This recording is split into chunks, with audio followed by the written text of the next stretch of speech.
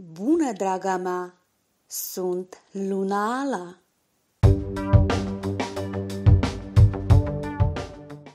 În mai 2023, mulți dintre voi vor trebui să renunțe la individualismul obișnuit și confortabil în favoarea unui joc de echipă. Cine știe, s-ar putea să-ți placă și noul rol.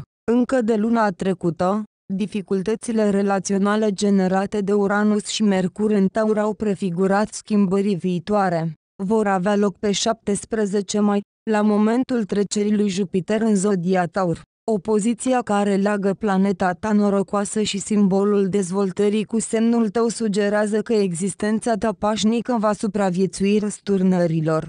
Cum se va întâmpla? Desigur, din cauza oportunităților neașteptate pe care ai contat în secret.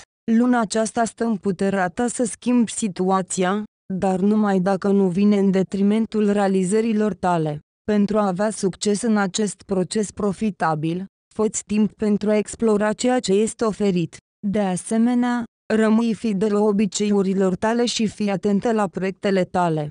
Din 21 mai, în timpul șederii lui Marte în zodia leului, ia în considerare cu atenție ideile, deodată vor străluci.